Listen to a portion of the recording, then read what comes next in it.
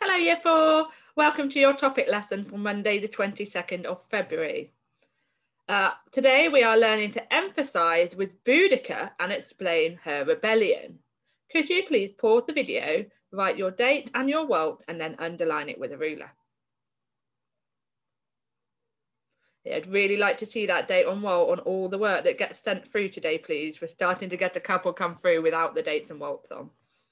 So keep up those standards, please. Okay, you've got a lovely picture here. Have a good look at that picture. I wonder who this lady could be. I've got this other picture to show you as well. This is a large statue and it's a statue in central London. Who do you think could be so important that they get to have a really large statue of themselves in central London? Must be someone really important to our country. Let's find out a bit more. Oh, there we are. Here's another clue. The statue is so important that it's directly opposite the Houses of Parliament. That's a really prominent, special position in London, isn't it? Hmm. Well, hopefully the uh, WALT has given you a clue. That lady there on her chariot is called Boudica, and she is um, known to be a really strong woman, a really prominent person in our British history. So let's find out a little bit more about her today. So the year is AD 60. The Romans have occupied Britain for 17 years. Many Celtic tribes, so the Celtic tribes are the ones that were in Britain before the Romans came, many Celtic tribes have managed to continue to live in much the same way they always did, making deals with the Romans to leave them in peace. However, a major rebellion is about to take place, which will affect the lives of many people, Celts and Romans alike. So something big is about to happen. This is a true story. This is Boudica's story. My name is Queen Boudica. I am ruler of the Icen Iceni tribe and rule a territory that is called East Anglia. I am a rich and powerful Celtic queen, and my husband is called King Prasutagus. The Romans have lived in our lands for nearly 20 years.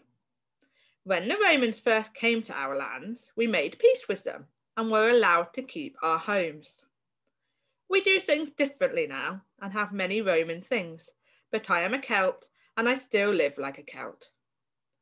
I don't trust the Romans and feel that they take too much from us but I don't want to make war as it will hurt my people who want who need my leadership.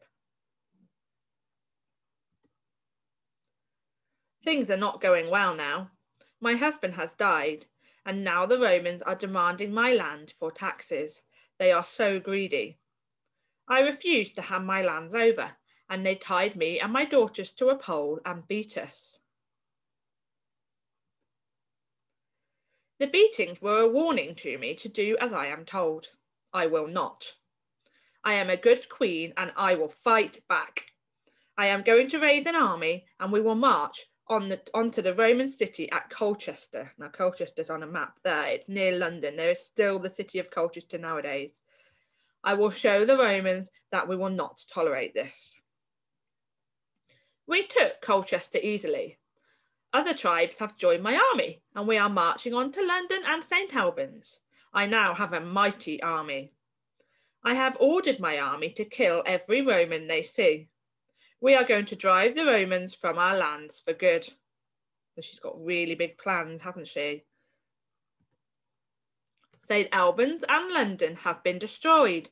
My army burnt the cities down and we killed many Romans.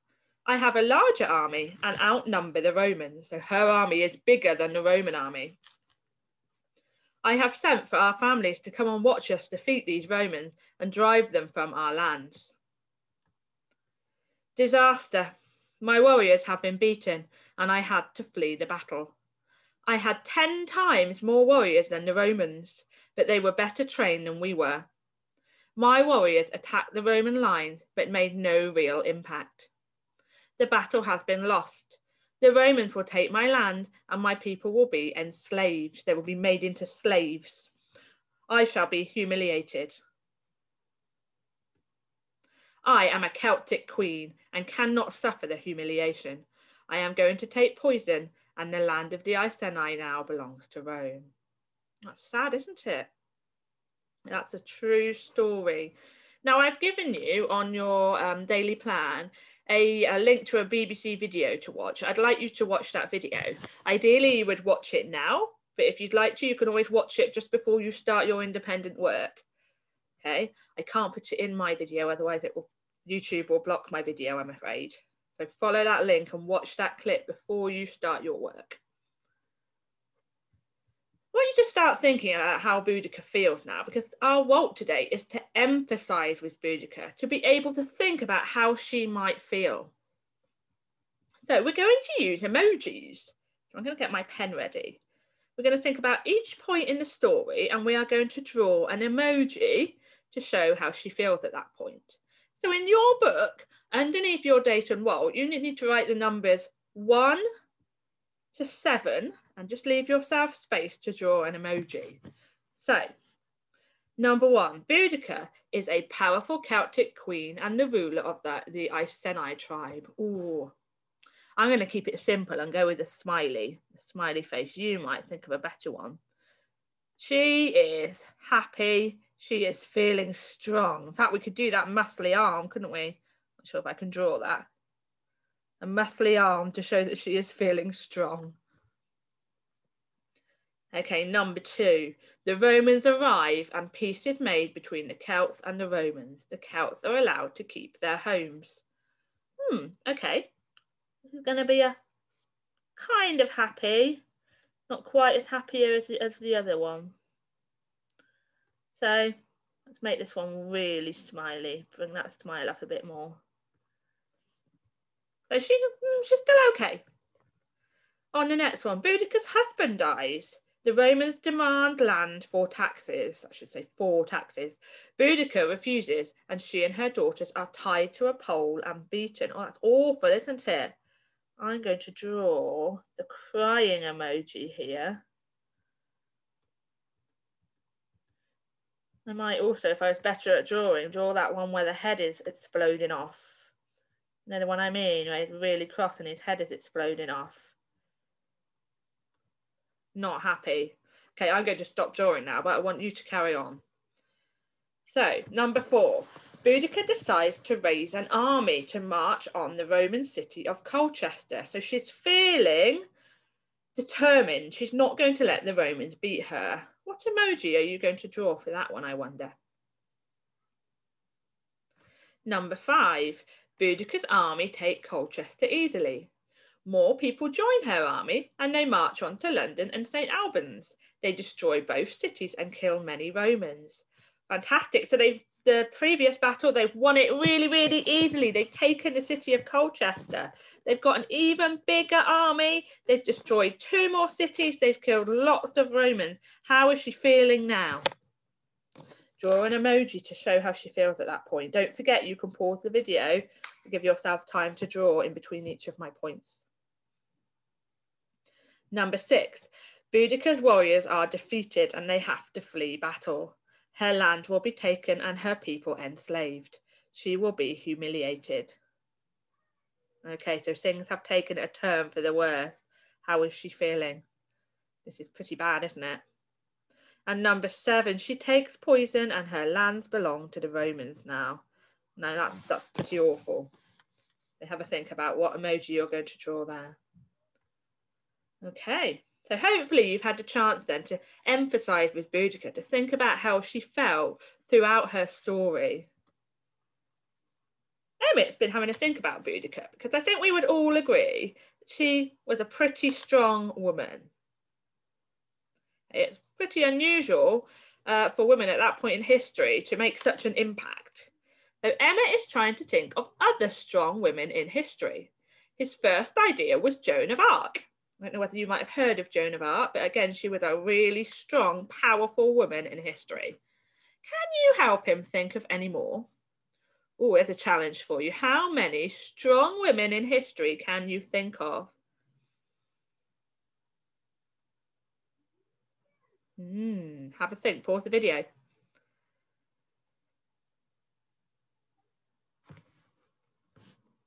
Right, here's just a few I came up with, definitely not a full list. So, we've got the Virgin Mary, we've got Elizabeth I,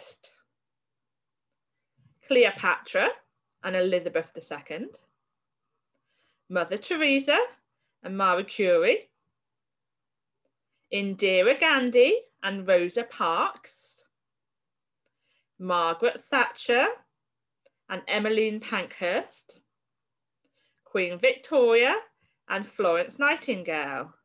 Now, I wouldn't expect you to know who all of those people are, but you might know who a couple are, and you might have come up with a couple of those names perhaps. I expect you probably came up with some different ones too, and I wish I was at school and I could hear what you came up with. If you ever have a moment though and you want to research some of these people, they are all really interesting people to find out about. They all made a really big impact on the world. Now, Emmett's been thinking again, and he thinks that Boudica was a mad woman to attempt to fight against a famously strong Roman army. What do you think? Do you agree with Emmett? Would you like to build on what he says, or would you like to challenge him? If you've got somebody with you, maybe you could have a little debate about that. Was she mad for trying to fight against the Romans? Pause the video, have a think. Okay, there's no right or wrong answer, is there? I think she definitely deserves some respect for what she did. I think that's why she's gone down in history for us. She really, really did try to make that impact. So, your independent work. So, next lesson, you are going to write about Boudica's revolt. So, revolt. A revolt is where you, um, if you revolt, you. Let me see, how should I put it? Um, I think the best way to think about it is if you revolt, you take action against something.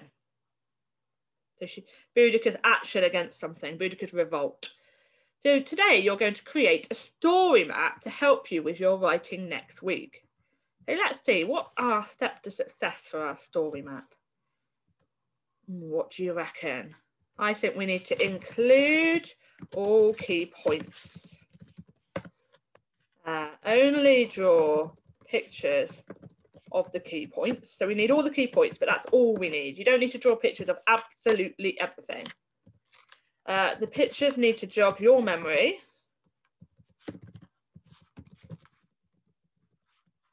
Got to be something that's useful to you when you come back to it next week and you try to do your writing. Uh, and you need to join your pictures with arrows. Okay. So if you have done a successful story map, you will be able to look at it and tell the whole story of Boudica's revolt. Now, I have done uh, the start of a story map. So I have drawn a crown to show that Boudica uh, was the queen of the Iceni tribe. I have drawn a Roman and I've written the word peace to show that when the Romans came, um, a peaceful agreement was made with them, and the Iceni tribe were allowed to, in fact, the whole of the Celts were allowed to keep their properties, and they lived basically as they were used to living. Then I've drawn a coffin, and I've drawn a sad person um, to show that her husband died. Okay, I say I've drawn, I haven't drawn, I've actually taken these pictures off the internet, but you get what I mean. So I've started it off. You need to do your own story map and continue, just like mine. What I would do when I get to the end of my row, I'm going to do an arrow going down and I'm going to start going down in, um, I don't know whether you can see my cursor, hang on. Let's get my pen. What I would do when I get to the end of my row, I'll draw an arrow, I'll draw my next picture here. And then I'm going to start going down like that. And I will do my next picture here. And then I will draw an arrow and I will do my next picture here, draw an arrow, next picture, and then I'll start going down that way and then I'll go across. Okay, hopefully that makes sense to you.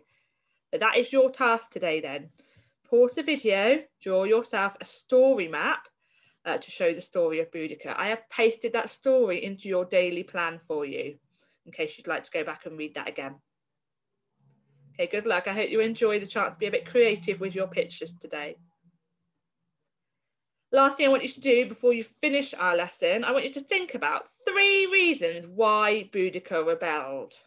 I want you to think about that over the next week so that you are ready in our next lesson um, to answer that question. What are the three reasons why Boudica rebelled? So you might say, I think Boudica rebelled for a number of different reasons. Firstly, get it really straight in your head to help you with your work next week. Well done today, year four. I look forward to seeing what you've done. Bye.